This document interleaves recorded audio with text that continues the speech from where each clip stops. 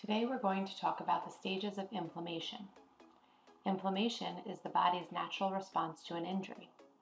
The injury can be a result of a physical trauma, a bacterial or viral infection, or a heat or chemical injury.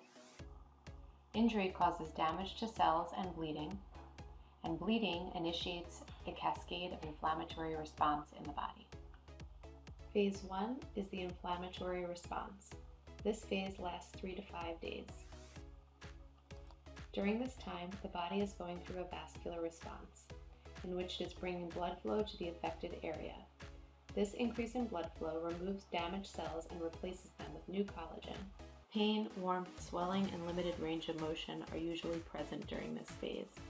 The goals of treatment during phase 1 are to decrease the pain and swelling, prevent chronic inflammation, and maintain mobility of surrounding joints. Phase 2 is called repair and regeneration. During this phase, new fibers of collagen are being laid down in a disorganized fashion. Scar tissue will form with easily breakable bonds. The swelling and warmth will decrease, but pain with tissue stretch is often present. Goals of treatment during this phase are range of motion, joint and scar mobilization, and the use of light loads to promote tissue remodeling.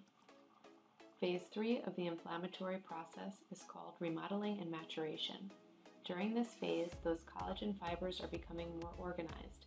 Notably improved range of motion and strength is present. This phase can take months to up to a year to complete. The goals of treatment during this phase are stretching, active contraction, and resistive loads. Key takeaways Be sure to tailor your treatment to the corresponding phase of inflammation. Note that the entire inflammatory process can take up to a year to complete. Maintenance of joint mobility throughout the entire inflammatory process is integral to complete recovery.